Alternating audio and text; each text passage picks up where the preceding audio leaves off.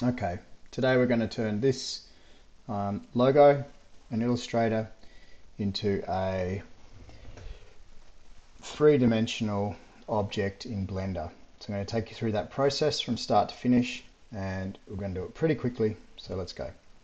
So first of all, you need to make sure that the image that you've got inside Illustrator is actually a vector. You can just quickly check that it is all paths. Just emptied the fill and I can see that it's made up of vector paths, so that's all good. Okay, then I'm going to save this as an SVG. So file, save as, and I'm going to call it um, logo for Blender SVG and I'm going to make sure that the file type is actually an SVG, so scalable vector graphic. Reason for this is that is a file type that Blender can read. Go with this, the first one. Alright, that's all we need to do in Illustrator so we can close Illustrator now. Next thing we need to do is open Blender. There's my Blender icon.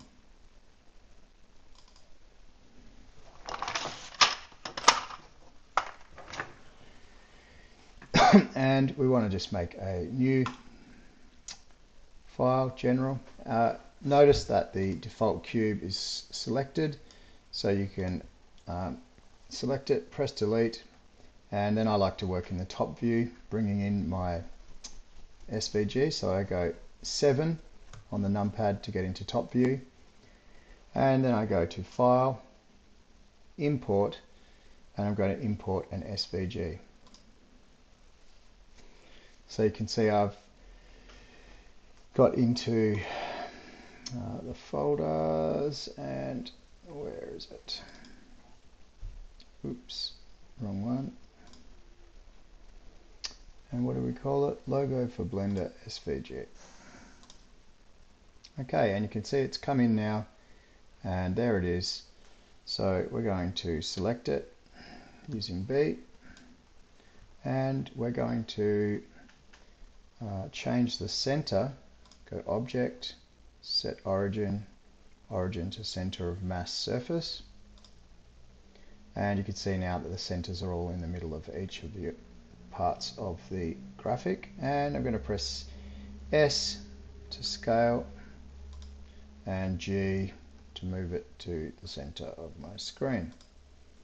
Okay, so now I have my logo inside Blender. It's still flat. Uh, it's occupying two dimensions, um, but we're going to extrude it so that it occupies three dimensions. Okay, so here goes. Uh, what do I need to do to make it into an uh, a mesh? I have to convert it from a curve, which is what it currently is, into a mesh. We'll just double check that I'm actually correct there. Go into edit mode. There's no edit mode because there's no mesh. So select one, then B, and select the rest. So you've got light orange, dark orange, object, convert to mesh from curve. Then you can go into edit mode and you can see that what was once just a flat object is now made up of uh, vertices, that's those individual points, and edges, and faces. So at the moment we're in vertices select, which is this one here, but we could go into face select um, and we could go into edge select.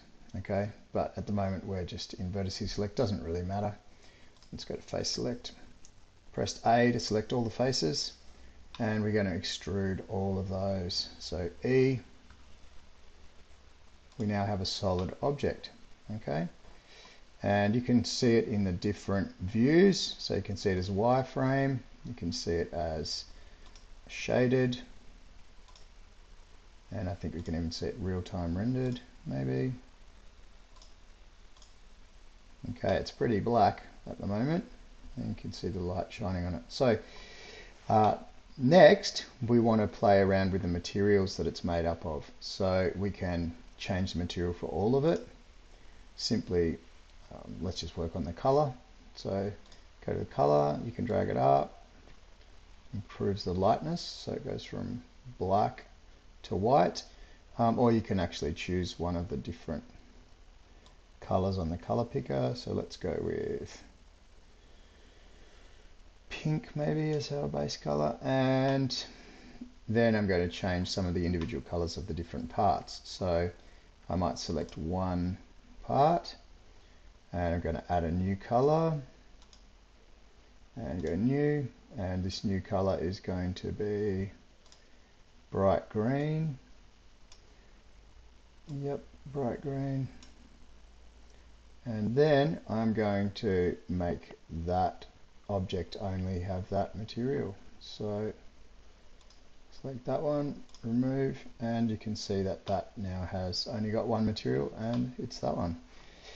So have a look at it through the camera view. Could probably size the whole thing up a bit bigger still, I reckon.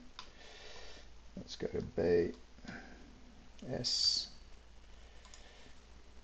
and have a look at it through camera view. It's looking pretty nice. Little pop star logo. And now if you wanted to take a render